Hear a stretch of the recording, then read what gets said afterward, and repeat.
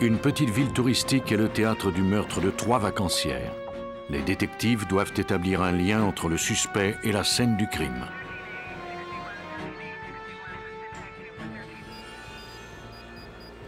L'enlèvement d'une femme est filmé sur vidéocassette. Les images un peu floues pourront-elles être utiles aux enquêteurs?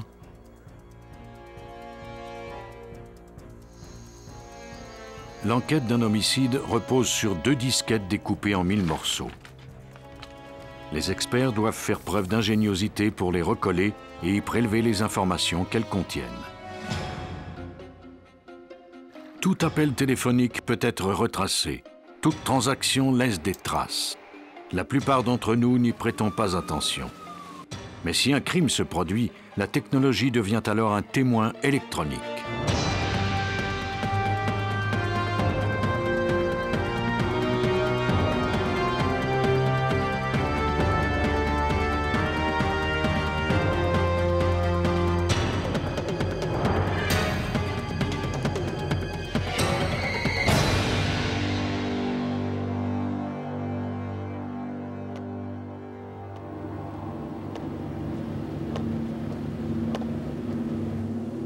Le 4 juin 1989, des détectives de Tampa aux États-Unis nagent en plein mystère.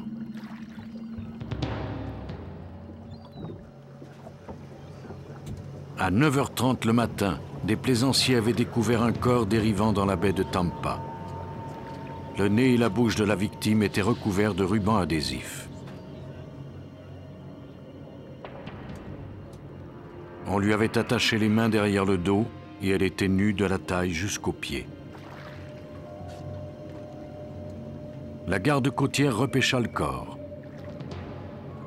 On le dégagea ensuite du poids qui lui était attaché.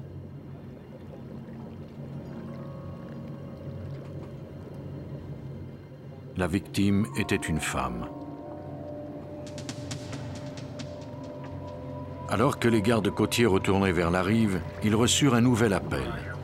On avait découvert un autre corps 11 km plus loin. Tout comme la première victime, elle avait été ligotée et semblait avoir été violée. Elle aussi avait été abandonnée en mer alors qu'elle était encore en vie. Il était évident qu'il s'agissait du même meurtrier. C'est le détective Sindra Cummings qui menait cette enquête. On avait mis une corde de nylon jaune autour du cou de la deuxième victime. C'était une femme. Elle était nue de la taille jusqu'aux pieds. Au bout de cette corde, on avait attaché un bloc de ciment.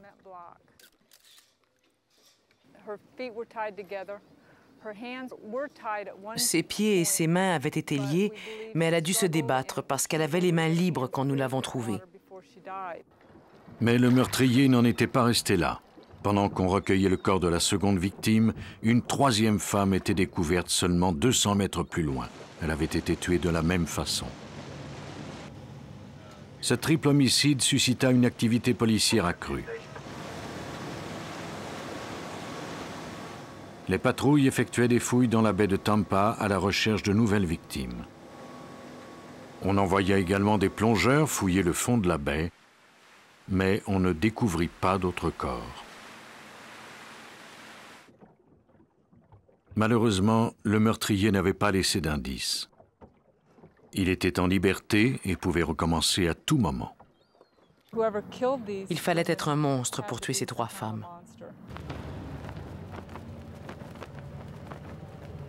L'autopsie révéla que les trois femmes étaient mortes depuis deux à trois jours. Le meurtrier avait eu assez de temps pour prendre la fuite. Elles étaient mortes par asphyxie, soit à cause du ruban adhésif sur le nez et la bouche, soit de la corde autour du cou ou de la noyade. On ignorait absolument tout des victimes. Tampa est une ville touristique. Elles pouvaient être des touristes en vacances. Les médias s'emparèrent de l'affaire. Peut-être quelqu'un connaissait-il les victimes et pourrait donner des informations à la police. On reçut des centaines d'appels. 60 détectives furent assignés à cette enquête. Malheureusement, aucun d'entre eux ne parvint à découvrir de pistes. Pendant ce temps, dans un hôtel de Tampa, une femme de ménage s'interrogeait à propos de certaines de ses clientes.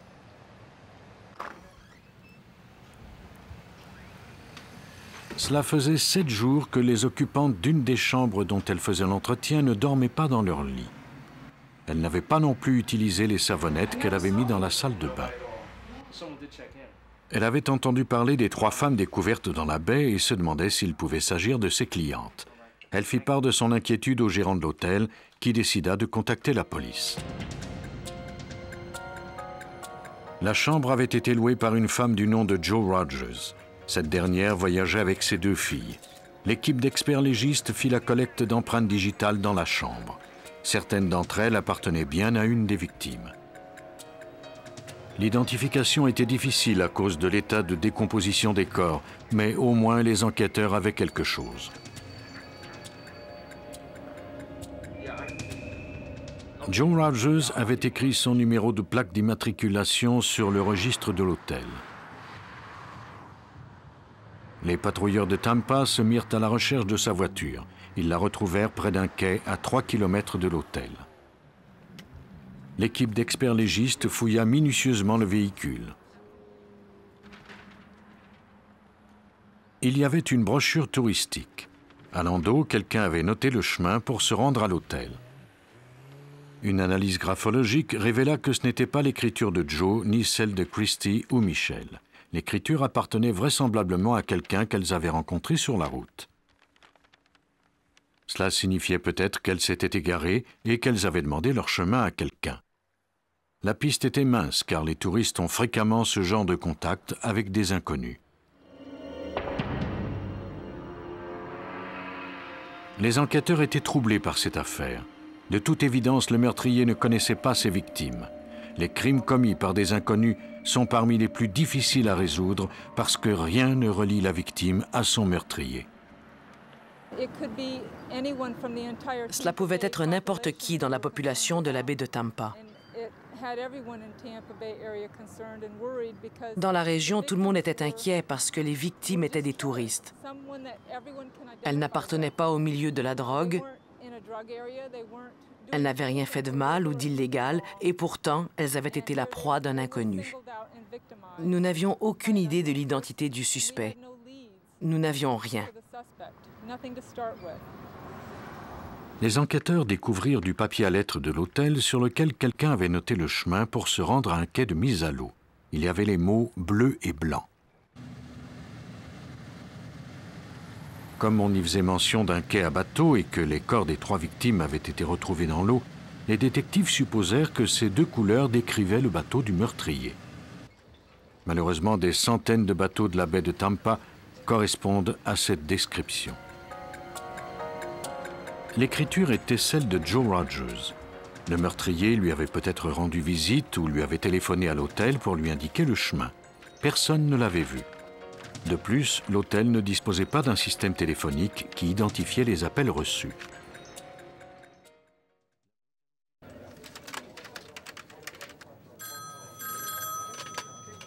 En octobre, soit quatre mois plus tard, les enquêteurs apprirent qu'une femme avait été violée sur un bateau à Madeira Beach, deux semaines avant le meurtre de la famille Rogers. La victime était aussi une touriste. Madeira Beach est située à seulement 16 km de la scène du crime. Selon le détective Glenn Moore, les ressemblances entre cette affaire et le meurtre des Rogers ne s'arrêtaient pas là.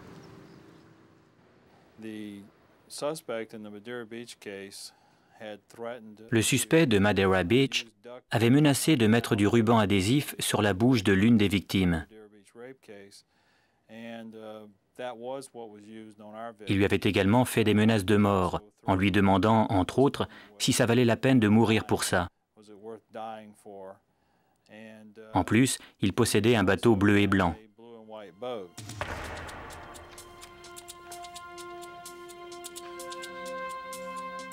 La victime fournit à la police une description du violeur.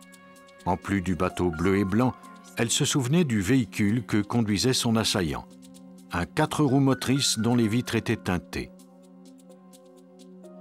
Grâce à ces renseignements, on dressa un portrait robot et on le publia dans les journaux locaux. La police reçut quantité d'informations de la part du public. Les mois passèrent et les détectives suivirent toutes les pistes qui pouvaient les mener au meurtrier. Mais on n'obtint aucun résultat. Une année s'était écoulée et tout ce dont la police disposait était le portrait robot d'un violeur qui n'était peut-être même pas le meurtrier.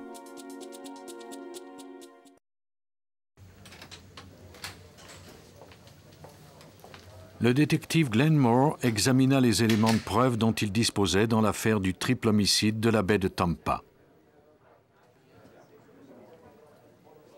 Il disposait du portrait robot d'un violeur et d'un dépliant où quelqu'un avait noté le chemin pour se rendre à un hôtel.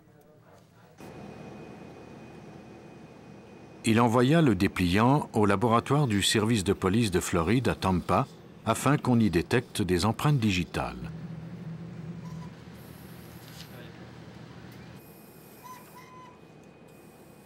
Il y avait bien des empreintes. Elles n'appartenaient à aucune des victimes.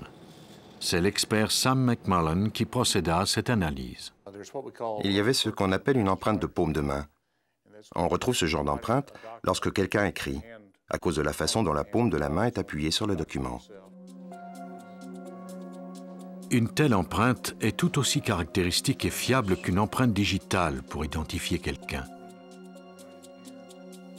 La personne qui avait laissé cette marque sur le dépliant était-elle celle qui avait commis les meurtres? Si l'auteur des notes était le meurtrier, ces empreintes digitales étaient vraisemblablement déjà archivées compte tenu de la feuille de route probable de cette personne. Même si les empreintes de la paume sont intégrées au dossier d'un récidiviste, elles ne sont toutefois pas téléchargées dans le système informatisé. Il était donc impossible d'effectuer une recherche par ordinateur.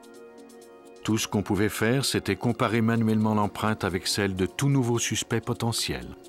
Mais le temps passait et on n'était pas encore parvenu à en identifier. L'empreinte et l'échantillon d'écriture semblaient inutiles. Moore refusait d'abandonner l'enquête. L'homme qui avait tué les Rogers était encore en liberté et il fallait à tout prix le retrouver. La police organisa des conférences de presse et utilisa même des panneaux d'affichage. En général, nous affichons des photos de victimes et nous demandons aux gens de nous contacter s'ils les reconnaissent. Mais nous avons agi un peu différemment cette fois-ci. Nous avons affiché une photo de l'écriture de l'homme sur le panneau d'affichage en espérant que quelqu'un la reconnaîtrait peut-être. Les enquêteurs reçurent plusieurs appels. L'un d'eux était intéressant. Joan Steffi déclara à la police que l'écriture ressemblait à celle d'un de ses anciens voisins. C'était un entrepreneur du nom de Oba Chandler. Elle avait vu le portrait robot et trouvait qu'il ressemblait à Chandler, mais elle n'en était pas certaine. L'échantillon d'écriture avait à nouveau éveillé ses soupçons. Nous avons donc mis l'écriture sur le panneau d'affichage et elle l'a aperçue. Elle a consulté certains de ses voisins et a retrouvé des contrats qu'il avait remplis en tant qu'entrepreneur. Elle les a comparés et a trouvé qu'il y avait une grande ressemblance. C'est à ce moment-là qu'elle a décidé de nous appeler. On envoya les contrats au service des forces policières de Floride où ils furent examinés par l'analyste Teresa Stubbs.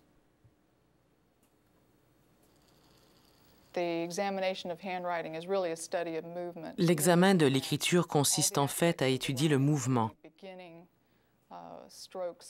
On examine tous les aspects de l'écriture, les hampes et les jambages, la hauteur des lettres les unes par rapport aux autres. J'ai examiné toutes ces caractéristiques de l'écriture sur le dépliant et les ai comparées à celles de l'échantillon d'écriture de M. Chandler. Elles se ressemblaient énormément et sous plusieurs aspects.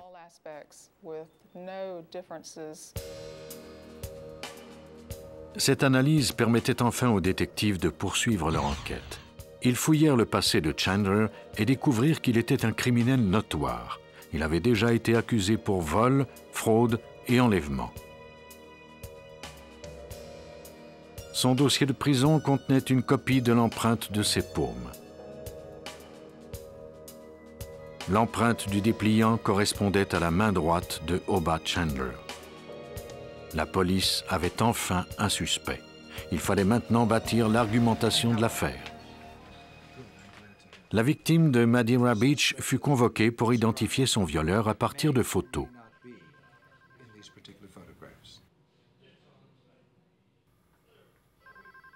Elle reconnut tout de suite Oba Chandler.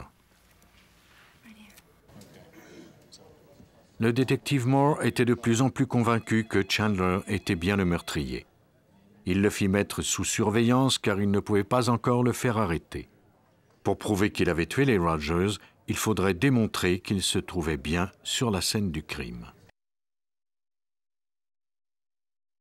Les détectives fouillèrent les relevés téléphoniques de Chandler. La nuit des meurtres, soit le 1er juin 1989, il avait fait cinq appels entre 1h30 et 5h du matin. Les communications avaient été établies à partir de son bateau. Il avait mis les frais sur sa ligne résidentielle. C'était très important. Cela démontrait que Oba Chandler était bien sur son bateau la nuit où les trois femmes avaient été tuées et jetées dans les eaux de la baie.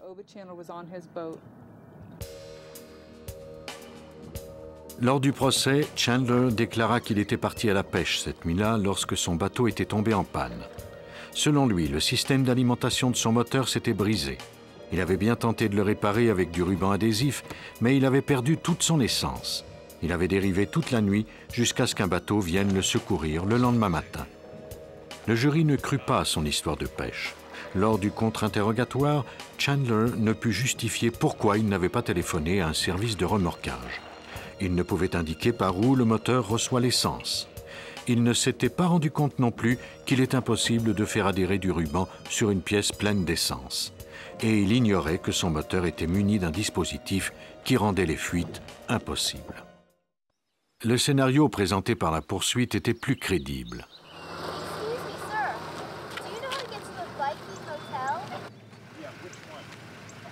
Joe Rogers et ses deux filles s'étaient égarés dans Tampa et avaient demandé leur chemin à un passant. Cet inconnu sympathique était Oba Chandler, ils connaissaient maintenant l'hôtel où elles avaient réservé une chambre.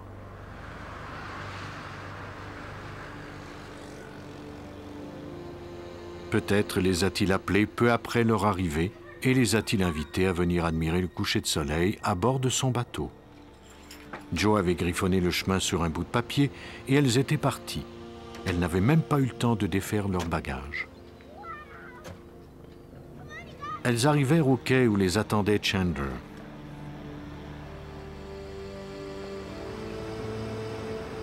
Il les fit monter à bord de son bateau. Elles ignoraient qu'elles voyaient leur dernier coucher de soleil.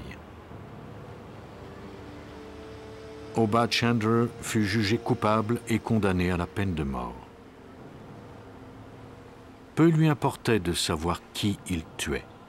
En général, les meurtriers sont plus sélectifs et ils ont un mobile. Dans le comté de Northumberland, en Pennsylvanie, une jeune fille revenait chez elle après avoir passé l'après-midi chez ses grands-parents. Elle avait emprunté le même sentier des dizaines de fois, ce qui lui permettait de rêvasser à son aise. Mais le 12 juin 1989, une odeur nauséabonde attira son attention. Elle regarda autour d'elle pour en trouver la source, espérant qu'il ne s'agissait pas d'un chien happé par une voiture. Ce qu'elle découvrit était encore plus horrible il s'agissait d'un cadavre humain. On dépêcha des policiers sur la scène du crime. Le corps fut ensuite envoyé à la morgue pour une autopsie.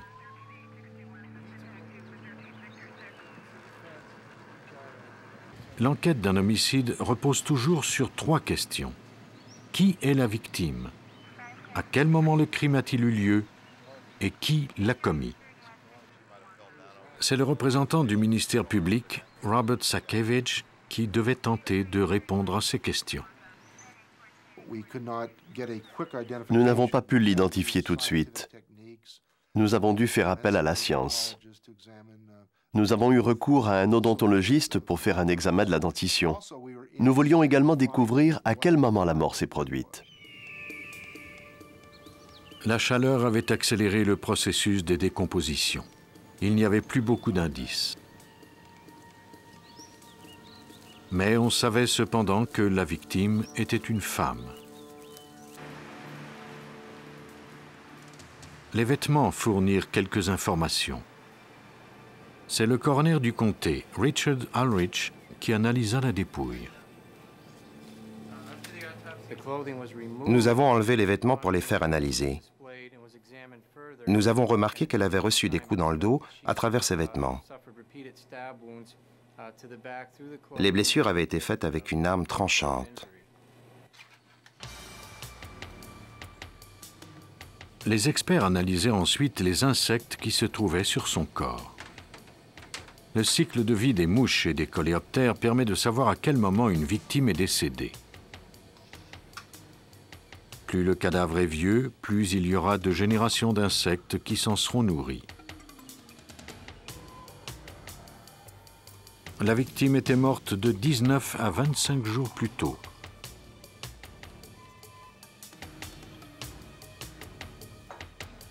Elle fut identifiée grâce à son dossier dentaire. Il s'agissait de Laurie Hawker, disparue 19 jours auparavant, soit le 24 mai. Laurie Hawker était retournée vivre chez ses parents avec son fils après s'être séparée de son mari. On l'avait aperçue la dernière fois le 24 mai à 15h30. Elle quittait la maison pour se rendre à son travail dans un centre commercial. Mais à 16 h elle n'était toujours pas arrivée. Son patron téléphona chez elle afin de vérifier si elle était bien partie. Sa mère était inquiète. Elle aurait déjà dû être au travail. Ses parents refirent le trajet en voiture. Peut-être était-elle tombée en panne.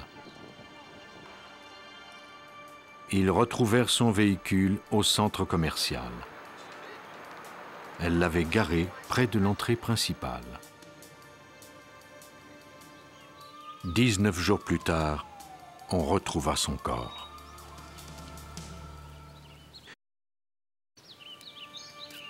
Laurie Hawker avait été sur la liste des personnes disparues pendant près de trois semaines. Maintenant que son corps avait été identifié, le département des homicides pouvait ouvrir une enquête afin de retrouver le meurtrier. Sa mère déclara à la police que Laurie avait déjà reçu des menaces de son ex-mari, Robert Hawker. Le couple ne s'entendait pas à propos de la garde de leur fils. Laurie avait si peur de Robert qu'elle avait caché un fusil de chasse sous son lit. Robert Hawker devint le suspect numéro un. Peu après la disparition de Laurie, la police l'interrogea. Hawker déclara qu'il faisait des courses ce jour-là à bord d'une Plymouth Caravelle. Il n'avait pas vu Laurie. Ses parents, interrogés à leur tour, déclarèrent qu'il était bien sorti mais qu'il avait emprunté la voiture de sa mère, une Chevrolet Celebrity 1984. À ce moment-là, cette contradiction n'avait pas paru très importante. Peut-être Robert Hawker avait-il menti parce que la Chevrolet n'était pas assurée à son nom. La seule façon de découvrir s'il était impliqué dans cette affaire serait de déterminer s'il s'était trouvé sur la scène de l'enlèvement. Quelques jours après la disparition de Laurie, les détectives s'étaient rendus au centre commercial pour y interroger des commerçants. Il s'était adressé à la caissière d'une banque située à côté de l'entrée principale. Cette dernière croyait que la caméra du guichet automatique détenait peut-être la clé du mystère puisqu'elle photographiait la partie du parking où la victime avait garé son véhicule. Ce type de caméra prend des photos à des intervalles prédéterminés. Celle du guichet automatique prenait un cliché toutes les 10 secondes. Laurie Hawker avait disparu depuis cinq jours lorsque les détectives purent mettre la main sur la bande magnétoscopique du guichet. L'image était trouble, mais il était indéniable qu'il s'agissait de la voiture de la jeune femme. Juste à côté se trouvait une silhouette qui était vraisemblablement celle de Laurie Hawker elle-même. La photo suivante, prise dix secondes plus tard, attira l'attention des enquêteurs. L'image n'était pas claire. La caméra avait fait le point sur une personne qui utilisait le guichet automatique. Mais juste au-dessus de son épaule, loin derrière, nous pouvions voir ce qui ressemblait à un enlèvement. Une voiture traversait le chemin emprunté par la victime. Celle-ci se penchait vers l'auto. Sur l'image suivante, la voiture quittait le parking et Laurie n'était plus là.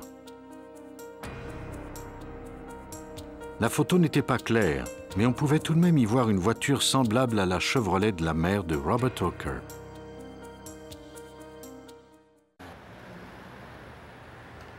Les enquêteurs étaient confrontés à deux obstacles. D'abord, l'image dont ils disposaient était trop floue pour déterminer si la voiture qu'ils distinguaient était vraiment une Chevrolet. De plus, le père de Robert Hawker avait vendu la voiture trois jours après la disparition de Laurie. Elle avait changé de propriétaire quatre fois dans le mois suivant la vente. On la retrouva finalement chez son nouveau propriétaire, à environ 150 km de là.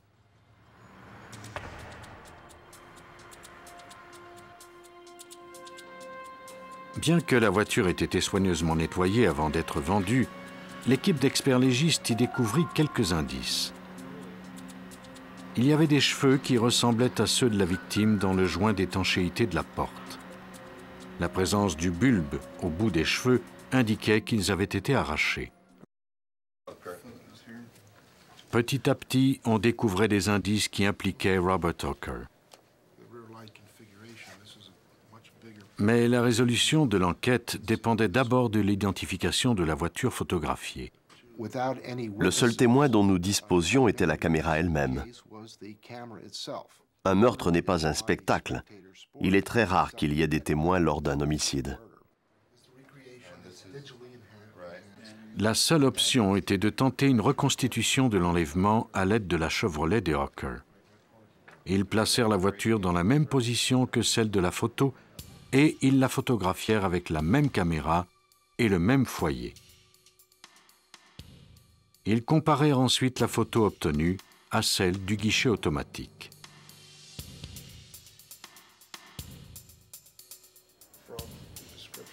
Les résultats étaient encourageants, mais pas encore assez précis pour être présentés en cours. Il n'y avait qu'une solution, améliorer la définition de la photo prise par le guichet automatique. Malheureusement, cette technologie n'en était qu'à ses débuts en 1989. Sakavage contacta la compagnie Kodak qui le référa à la NASA.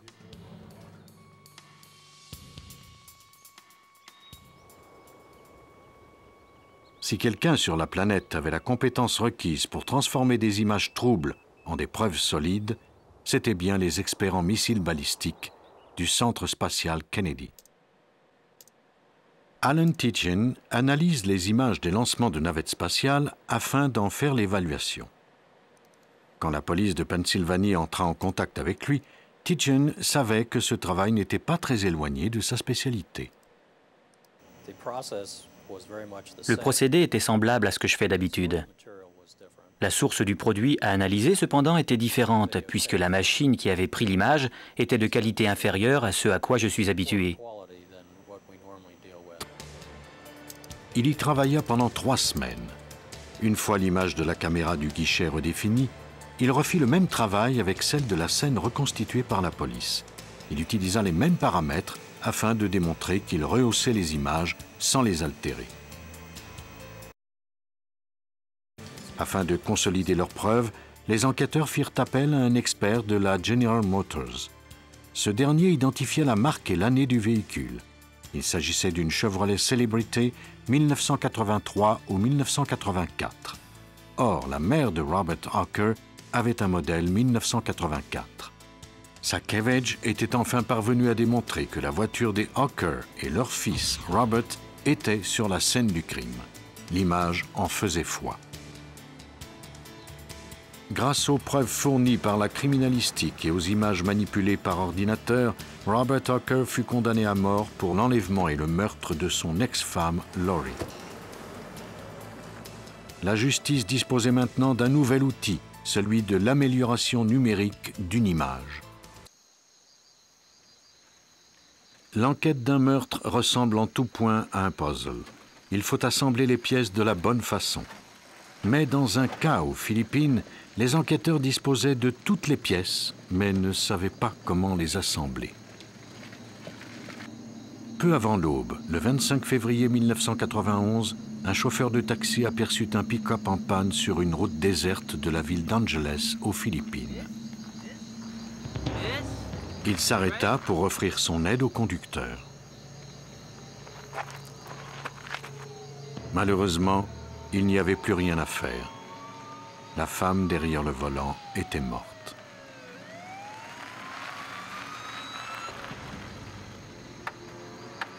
Lorsque la police arriva, la clé était toujours sur le contact et la conductrice attachée au siège par sa ceinture de sécurité.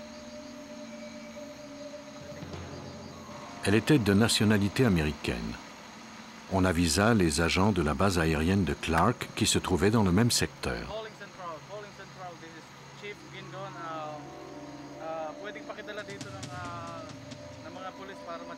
Les employés de la base se connaissaient tous.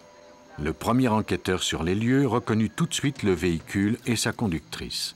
Il s'agissait de l'épouse d'un sergent-chef. Elle s'appelait Julie Snodgrass. Le lieutenant-colonel Tim Davis, expert légiste pour le bureau d'enquête régional, travaillait à cette enquête. Nous nous approchions du véhicule lorsqu'un des agents nous a rejoints et nous a dit qu'il croyait que c'était Julie.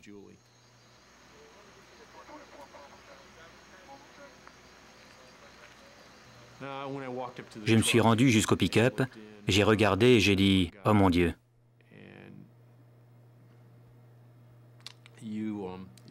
On n'oublie pas ce genre de choses. On ne peut pas oublier ça. Julie Snodgrass était l'épouse d'un gradé de l'Air Force. Elle faisait partie de toutes les fêtes. Elle y allait avec son mari Joe et ils emmenaient parfois leurs deux enfants.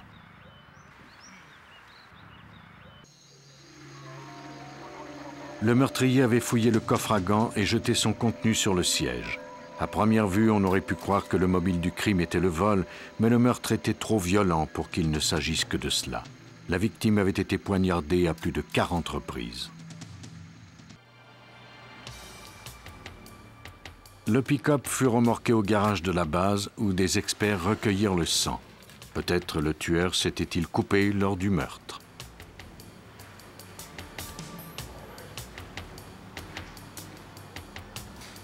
On recueillit également des cheveux et des fibres. Les échantillons furent ensuite envoyés au laboratoire judiciaire de l'armée au camp Zama au Japon. Les résultats étaient décevants. Le sang, les fibres et les cheveux recueillis appartenaient tous à la victime.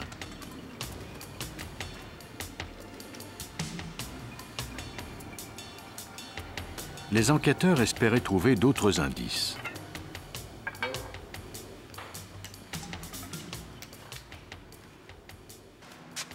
Le véhicule fut placé dans une tente et on y vaporisa de la supercolle afin de faire ressortir les empreintes digitales.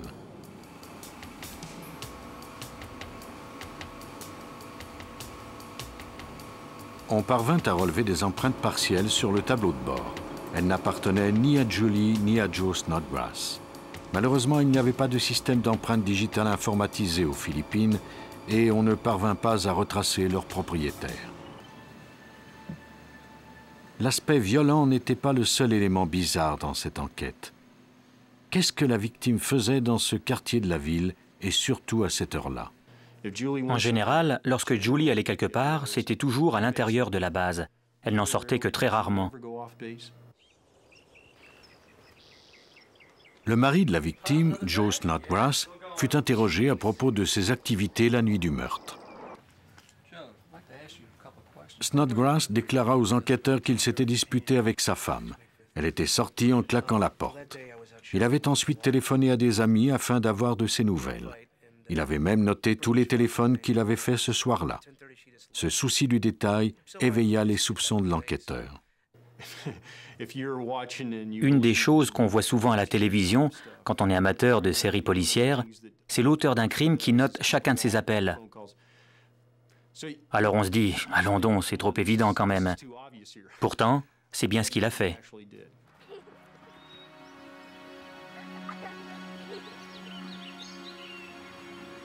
Joe et Julie Snodgrass avaient des problèmes de couple depuis un bon moment. Un an plus tôt, Julie avait divorcé et était retournée aux États-Unis avec les enfants. Joe était parvenu à la convaincre de revenir un mois avant sa mort. Les enquêteurs questionnèrent leur femme de ménage afin de vérifier si leur union était stable. Cette dernière était très nerveuse et fut incapable de donner des informations sur la relation des Snodgrass. C'était étrange, compte tenu du fait qu'elle était très près d'eux.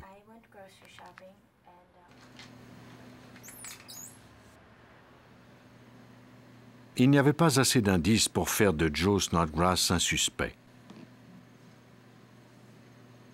Puis, un jour, la femme de ménage décida de passer aux aveux.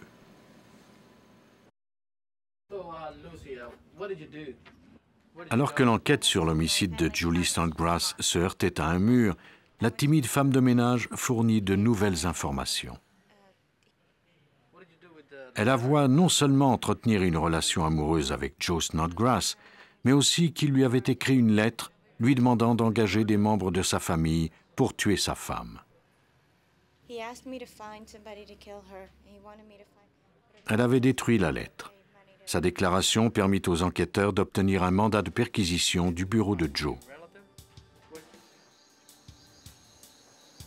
Les enquêteurs y saisirent des lettres manuscrites et des disquettes.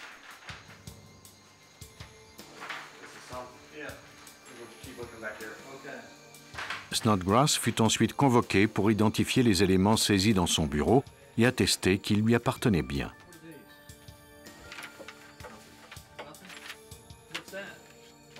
Dès qu'il aperçut les disquettes, Snodgrass fouilla dans sa poche et en sortit quelque chose.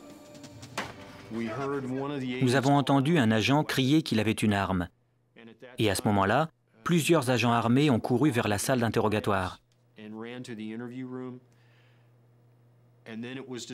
Nous avons alors découvert que Joe avait une paire de ciseaux. Snodgrass l'avait caché dans sa poche. Il a saisi une des disquettes et il a commencé à la découper en morceaux. Ça s'est produit en un éclair. Il s'agissait d'éléments de preuve. Il est clair que cela n'aurait pas dû arriver, mais c'est bien ce qui s'est produit. Visiblement, les disquettes contenaient des informations incriminantes. Serait-il possible de récupérer les données qu'elles contenaient Il fallait trouver une solution. Personne n'avait été confronté à ce genre de problème auparavant. Davis s'était découragé. Il envoya tout de même les fragments au laboratoire judiciaire informatique du ministère de la Défense à Washington.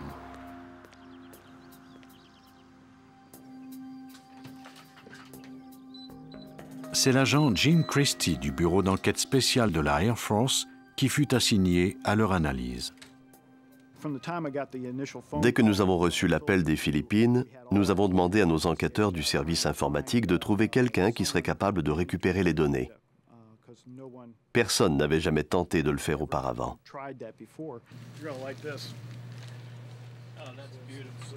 Non seulement les disquettes avaient-elles été découpées, mais Snodgrass les avait également froissées. Christie entra en contact avec divers fabricants, d'autres agences policières et certains services du FBI.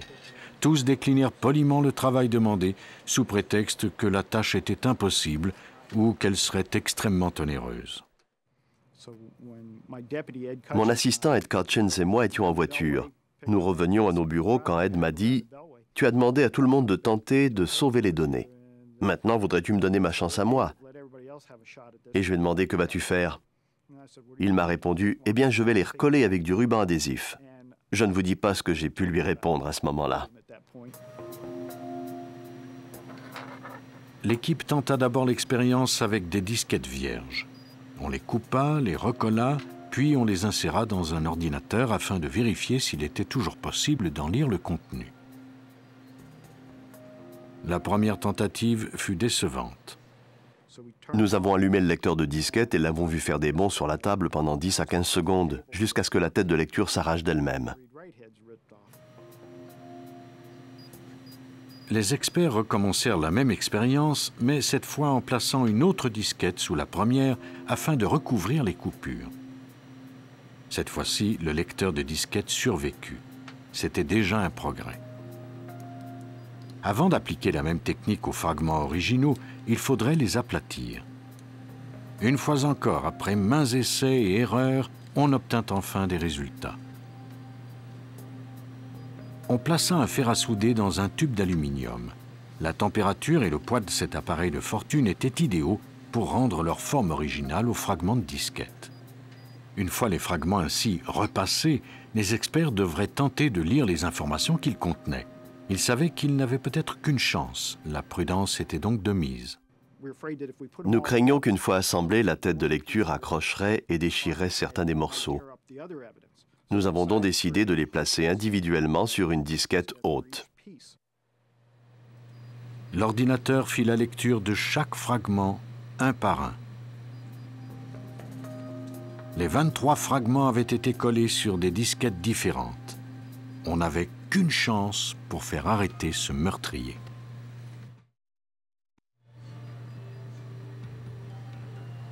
Les experts en informatique du laboratoire judiciaire de Washington essayaient d'assembler les pièces d'une disquette afin de résoudre un meurtre.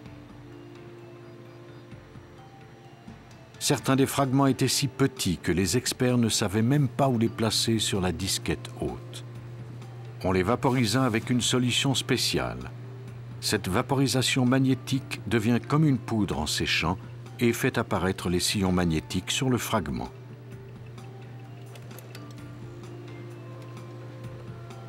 Ce procédé permit aux experts de placer les fragments au bon endroit avant d'enlever la poudre. Puis vint enfin le moment de lire les divers morceaux. On utilisa un logiciel appelé Anadisc afin d'analyser et d'afficher chaque fragment d'information.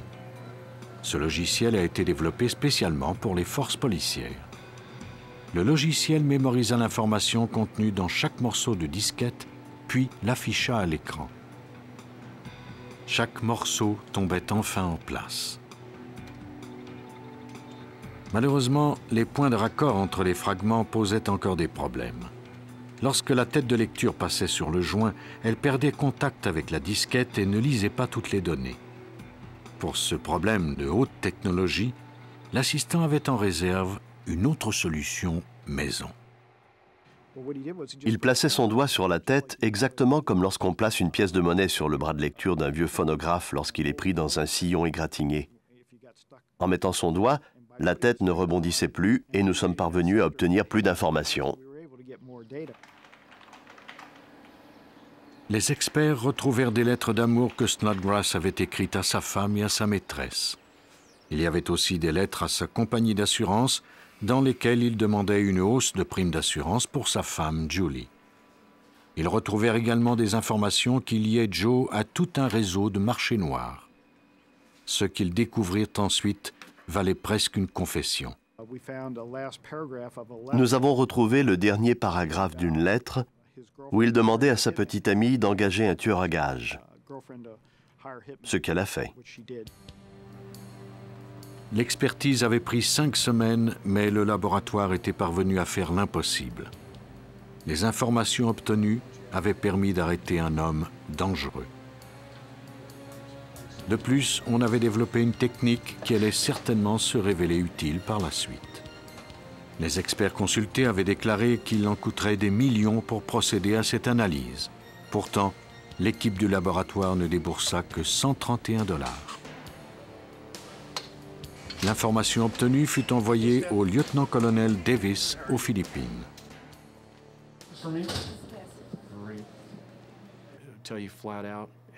Sans ces disquettes, la tâche aurait été beaucoup plus difficile. Mais avec les données récupérées à partir d'elles, on ne pouvait pas faire d'erreur. Joe était notre homme. Les enquêteurs reconstituèrent les événements qui avaient conduit au meurtre.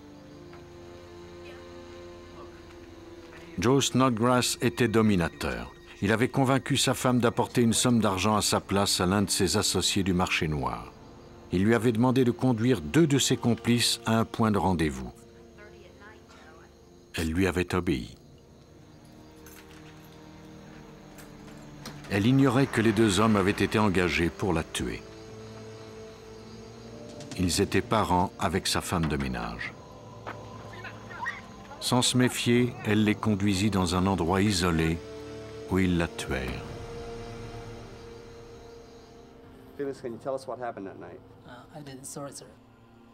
Ils avouèrent leur crime et furent condamnés à 20 ans d'emprisonnement. La femme de ménage, elle, fut condamnée avec sursis.